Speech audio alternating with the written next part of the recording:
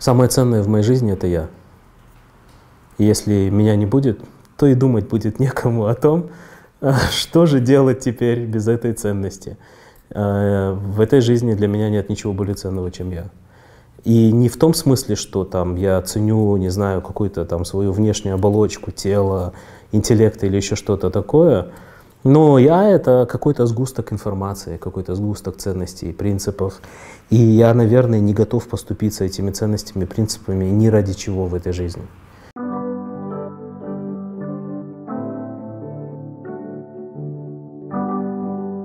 Идея, которая лежит в основе ОЛО, это построить город на Искуле.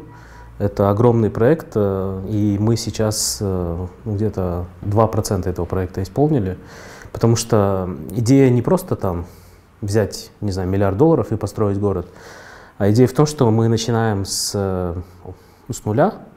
Мы этот бизнес ОЛО 5 лет назад начали с 10 тысяч сом. И идея пройти путь от 10 тысяч сом до города. Город — это миллиарды долларов.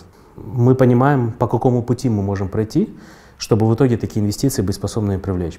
Но когда ты начинаешь строить город, ты очень сильно превышаешь какой-то потолок, выше, ниже которого ты не заметен, выше которого ты становишься очень привлекательным для всех людей, которые работают вне закона. Я говорю не только о криминалитете, я говорю в первую очередь о коррупционерах. И мы понимаем, что э, при текущих правилах игры, когда Кыргызстан это одна из самых коррумпированных стран мира, то, о чем мы мечтаем, недостижимая цель. Я думаю, что не так, чтобы я, но э, вот какая-то вот эта группа людей, которые хотят сохранить здравый смысл в этой стране, э, уже влияет очень сильно, потому что, ну вот вам юридический факт, что все-таки там 10 января мы не будем голосовать за вот этот вариант Конституции. Сейчас там вносится вопрос о президентской или парламентской форме, и это все-таки э, большой шаг назад для тех, кто вообще придумал все это, по сравнению с тем, чтобы выкатить вот эту конституцию. И вот этот проект конституции на голосование. И это победа, это какая-то победа. Э, и я вполне осознаю, что может получиться так, что в итоге большая часть населения, которая сейчас очень э, заблуждается, на мой взгляд, проголосуют за президентскую форму, может быть, мы действительно придем к какому-то такому варианту Конституции и так далее, но мы ни в коем случае не должны э, сейчас просто говорить, ну, бог с ним. Знаете, мы тоже народ. Нельзя говорить, что вот э, народ, весь народ за, за там, президентскую форму, к примеру. Но мы говорим, ну мы тоже народ. Ну, как бы не худшая часть народа. Э, та часть народа, которая рабочие места создает, налоги платит та часть народа, которая э, привносит сюда инновации, та часть народа, которая создает условия для многих других людей, да, которые хотят в этой стране жить и работать. И мы тоже имеем мнение, оно тоже есть. И э, вот это называется представленность. То есть э, в демократии очень важно, чтобы все слои населения были представлены.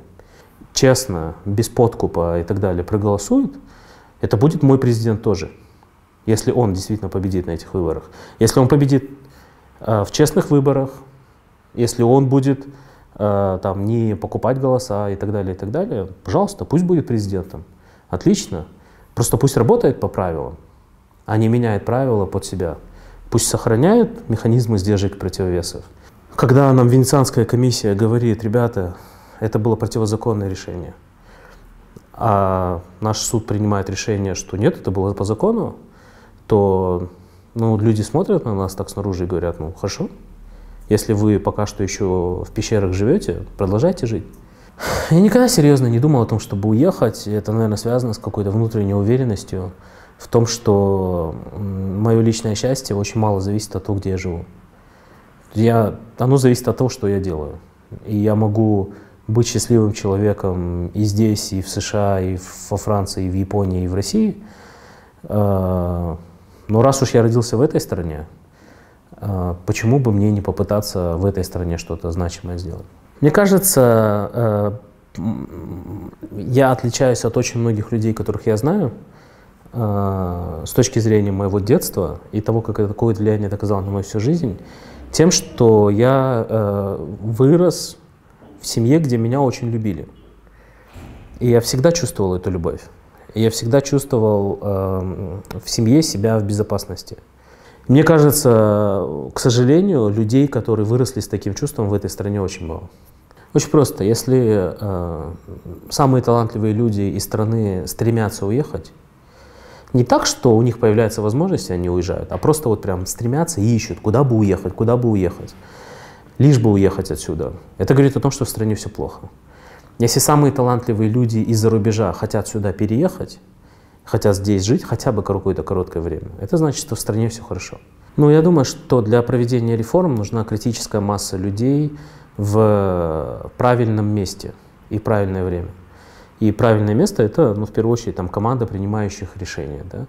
То есть э, я не являюсь частью этой команды. Даже если у меня есть какие-то там идеи о том, какие реформы должны быть и так далее, какая разница? Да? Если даже таких людей, как я, будет тысяча, но все мы там где-то где-то, и никто нашего мнения не спрашивает, тогда какая разница, сколько таких специалистов в стране есть, реформы все равно происходить не будут. Вот. У нас э, знаете, такая ситуация, вот если представить себе, что Кыргызстан это какое-то здание, то это здание, в котором уже давно прорвало трубы, взорвались батареи, потолок падает, там лампы не горят, э, электропроводка там наладан дышит и периодически вспыхивает да, в разных местах. И вот э, в такое здание приходит э, некий прораб, и он говорит, все, ребята, реформа, реформа. Он говорит, все, ремонт, ремонт, ремонт. И он берет краску и начинает красить стену. И потом он приводит всех и говорит, смотрите, какая красивая стена, какой красивый цвет, маджентовый там, и так далее. И все говорят, вау, реформа. Отсутствие доверия к судам – это фундаментальная причина, почему экономика не развивается. Потому что если я не верю судам, значит, я не верю в силу договора. Если я не верю в силу договора, то каждый раз, когда я буду заключать сделки, я буду заключать очень мелкие сделки. Такие, чтобы если меня подведут, то я, по крайней мере, не полностью пропал, да? И если я буду все время заключать только мелкие сделки, мой бизнес всегда будет оставаться мелким. Ну, это вот простой механизм. Второе – это реформа госуправления. Сегодня государство – это просто наемный менеджер. Мы скидываемся как народ, платим какую-то часть своих доходов, и формируется государственный бюджет. И мы нанимаем менеджера, который на этот бюджет, который мы сформировали, должен предоставлять определенные услуги. Дороги должен строить, должен строить инфраструктуру, должен обеспечивать э, безопасность, должен те же самые суды обеспечивать, должен обеспечивать государственное школьное образование, там, ну и так далее, и так далее. И сегодня этот менеджер, государственный госаппарат, потребляет 37% этого бюджета. Ну вот мы пришли в ресторан, и 37% это накрутка на сервис, да? Готовы мы такой, такой ресторан ходить? Нет. 15% это уже так думаешь, ну, что-то ребята обнаглели. То есть э, о чем мы должны говорить? Мы должны говорить о том, чтобы резко снизить потребление госаппарата. Это значит, как минимум в полтора раза должно сократиться количество чиновников. А если мы хотим еще поднять им зарплаты, то при этом мы должны сократить их еще больше. Я считаю, что нужно сокращать госаппарат 8 раз. За счет автоматизации, за счет сокращения регулятивных э, всяких мер и за счет э, сокращения количества госчиновников э, самих. И э, тогда коррупции тоже станет намного меньше. Меньше чиновников, значит меньше коррупции. Третья реформа, которая нам нужна, это реформа местного самоуправления. Нам нужно, чтобы люди э, в Балахче избирали себе мэра. И чтобы большая часть налогов, которые выплачиваются людьми в Балахче, оставалась в бюджете Балахче. И чтобы люди в Балахче говорили мэру, почему у нас дороги не сделаны, почему у нас уличное освещение не работает. И чтобы мэр не мог сказать, ой, у нас бюджета нет, потому что вот мне Минфин не выделил. Нет. Сегодня ситуация такая, что там десятая часть того, что собирается на местах, остается на этих местах. Все остальное выделяет государственный бюджет. А в государственный бюджет ты должен прийти, умолять, просить. Тебе будут говорить, знаете, сейчас денег нет. Там, ну и так далее, и так далее, и так далее. И в итоге получается, что наши мэры городов, там, они, э, для них клиент – это вот какие-то чины в правительстве, потому что если с ними хорошие отношения строить, тогда можно больше бюджета получать. А если у нас больше налогов будет оставаться на местах, то мэры городов будут понимать, что их клиент это граждане, горожане. К тому же эти горожане еще и избирают мэра. Когда меня провоцируют, я сначала пытаюсь понять, кто это человек, который меня провоцирует. а, нужен он мне или нет вообще в моей жизни. И в большинстве случаев я понимаю, что мне такой человек в жизни не нужен, поэтому я не вижу смысла вообще с этим человеком разговаривать. И когда человек пытается меня провоцировать, я сначала пытаюсь понять, во-первых, это живой человек или нет. Потому что это чаще всего происходит в социальных сетях, а там много людей, фейковых аккаунтов там, и так далее. И э, я знаю, что есть журналисты, которые за 20-30 тысяч сом в месяц там, по 200 аккаунтов ведут, и это для них работа, просто ходить, оскорблять, унижать, провоцировать и так далее. И зная это, с чего бы я поддавался на такие вещи и начинал отвечать.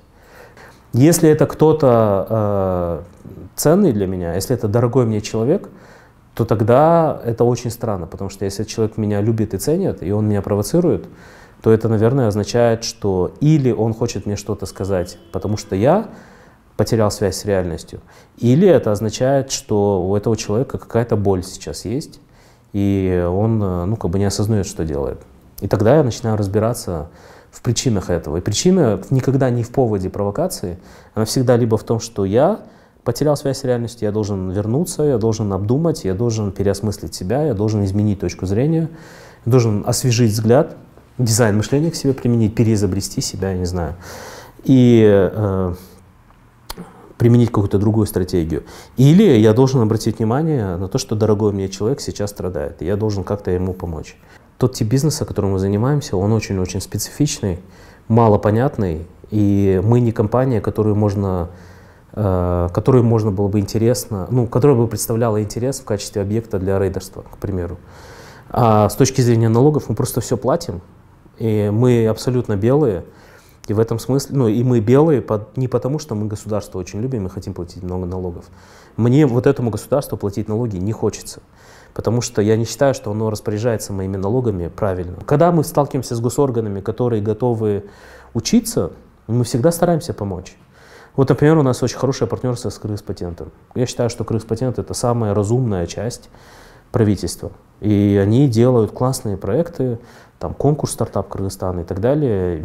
Это супер, то, что они делают. И мы рады их поддерживать. В какой-то момент даже их сотрудники у нас стажировались, чтобы понять, что такое коворкинг. Потому что Крыспатент сейчас свой коворкинг строит. Для нас обоих Ололо это не какая-то внешняя часть э, семейной жизни. Это часть нашей жизни, так же, как часть нашей жизни это наши дети. И, может быть, Ололо это прям еще один наш ребенок какой-то, да. Конфликтов может абсолютно не быть в двух случаях. Либо когда одна сторона полностью признает, что другая сторона это Бог, да, и надо полностью слушаться, а у нас точно не такая ситуация. Либо когда э, абсолютно одинаково мыслят. Но если бы мы одинаково мыслили, я бы точно на этом человеке никогда не женился. И она бы точно за меня никогда замуж вышли, не вышла, потому что в этом нет никакого смысла. Мы всегда разговариваем. И какие бы у нас разногласия ни возникали, мы находим в себе силы не замкнуться, не сказать все, все, все, больше я не собираюсь это обсуждать, всю тему закрыли и больше никогда к этому не вернемся. Нет, мы разбираем любую ситуацию и любые разногласия между нами до конца. У нас э, есть такая ну, традиция, хотя бы один раз в неделю, обычно мы два раза это делаем, мы завтракаем вместе. Мы отвозим детей в школу, потом мы завтракаем, в этот день мы не планируем там утро, и мы э, где-то там часа полтора там, можем побыть вместе где-то там, не знаю, в каком-то хорошем кафе. Настрой детей. Старшему сыну 19 лет. Он э, работает. Работает в британском стартапе в технической поддержке. Сидит из дома сейчас работает. Все, он устроился на работу в период пандемии, и он так ни разу в офисе и не побывал. Он работает постоянно из дома. Его э, английский и его техническое мышление, умение программировать ему очень сильно помогает. Это работа, которая вот включает в себя все эти skills да, и его дисциплинированность. То есть это просто э, очень надежный друг, который, э, когда, например, недавно нам нужно было с Айнурой улететь в Ош на три дня, на прошлой неделе, он э, отвозил детей в школу, причем он это делал даже после ночной смены, то есть он там в 7 утра заканчивал работу и потом еще отвозил детей в школу, потому что нас не было дома. Ну, это человек, который уже наравне с нами, может быть, один из третий родитель для наших младших детей. Младшим 10 и 8, э, и самая младшая у нас дочь, э, Айн, ей 8 лет, она, э, мы назвали ее в честь Айн Рэнд. самые умные женщины для, с нашей точки зрения в 20 веке. Айн очень креативная, наверное, самая, самая креативная в нашей семье. И есть Абай, который, которому 10 лет, он родился в мой день рождения. Он очень похож на меня внешне, он очень похож на меня своими привычками, он очень похож на меня своими недостатками. Мне его трудно критиковать, потому что я знаю, что вот это вот у него от него, от меня, да, ну, он не виноват. Ну и вот их инвестиция в их образование – это главная инвестиция в нашей жизни с точки зрения объема денег, которые мы вкладываем. Потому что э, они учатся в школе, где в первую очередь дети счастливы. И, и через это счастье детям передают определенные знания. Нам это очень нравится. Там очень правильные ценности в этой школе. Какой я отец? Я думаю, что мои дети чувствуют, что я их люблю очень. Э, я точно не отец, который проводит с детьми очень много времени. Я всегда стараюсь уложить их спать. Это такое правило. Э, я делаю с ними зарядку три раза в неделю утром. Э, и я стараюсь как-то придать им какие-то положительные привычки. У нас есть очень классные кейсы. Например, когда Баю и Айн было 3 и 5, они очень много ругались. Ну, прям очень много. Ругались, там, могли ударить, там, могли обидеть, оскорбить друг друга и так далее. И тогда мы э, сели, мы, у нас есть такая, ну, не знаю, э, форма, когда мы называем это семейный совет, мы все вместе садимся в пятером, и мы говорим, есть такая-то проблема, давайте обсуждать, как мы собираемся ее решать. Э, дети сами предлагали правила, которые они хотят, чтобы в семье были.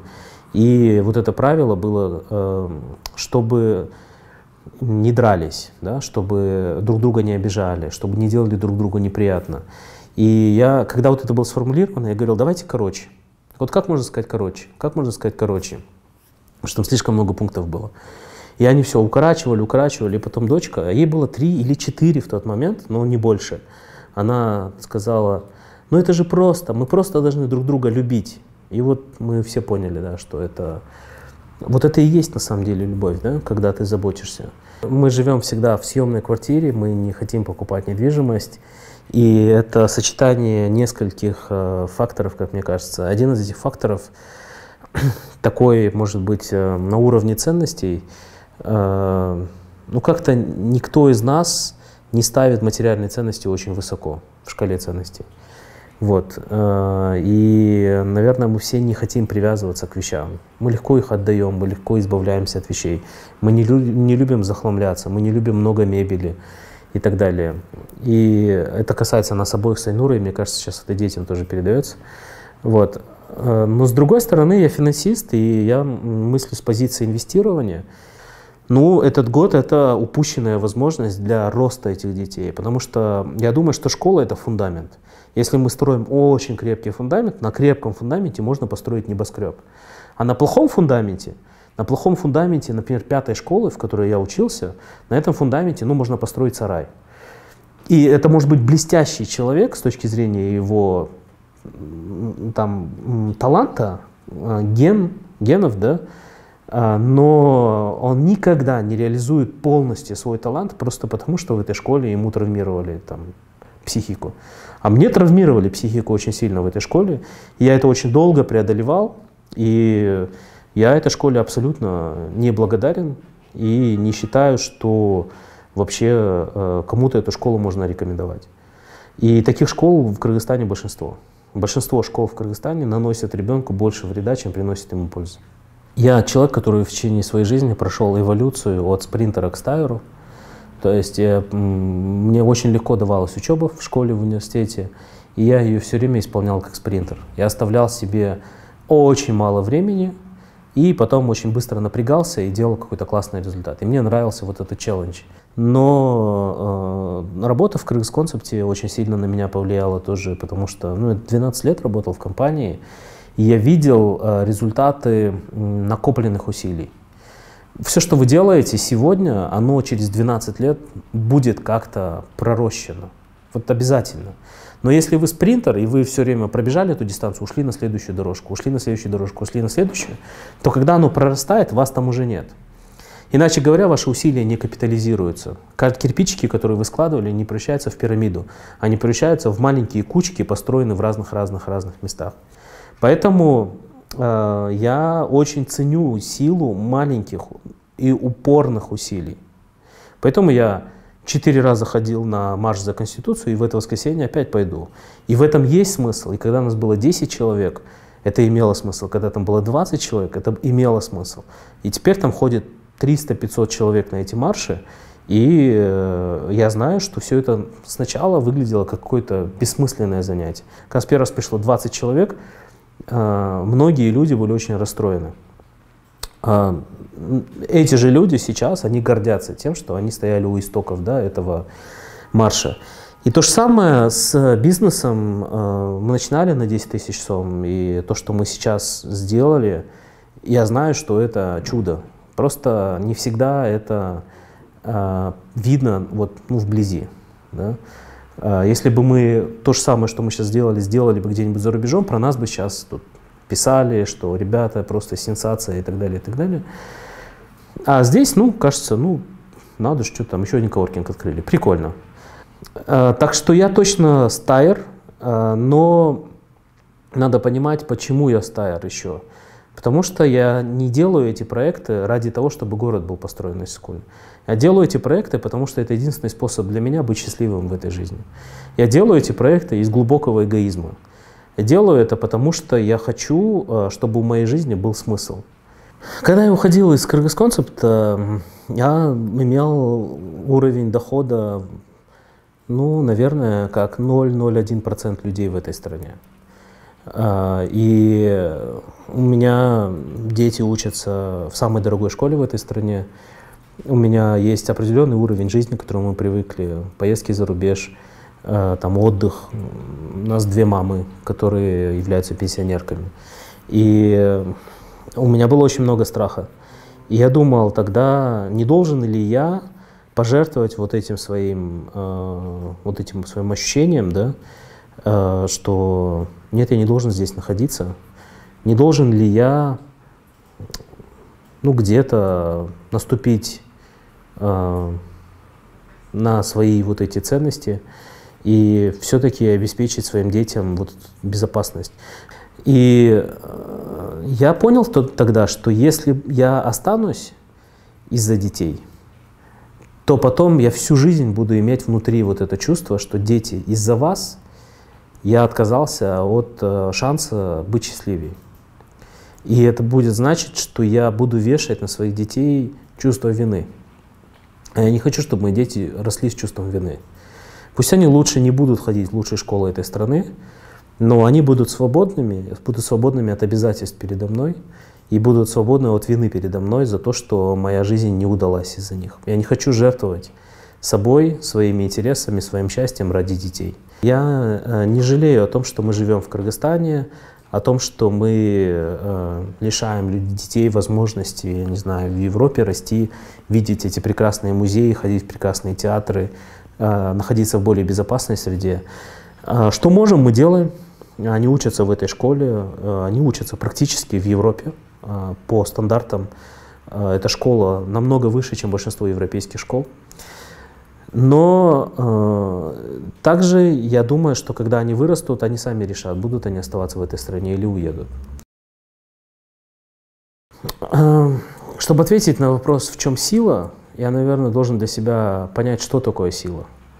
И для меня, наверное, сила — это энергия, которая заставляет тебя делать что-то. Поэтому для меня Сила, наверное, в стремлении быть счастливым. Стремление быть счастливым человеком заставляет меня делать очень большие проекты в этой жизни.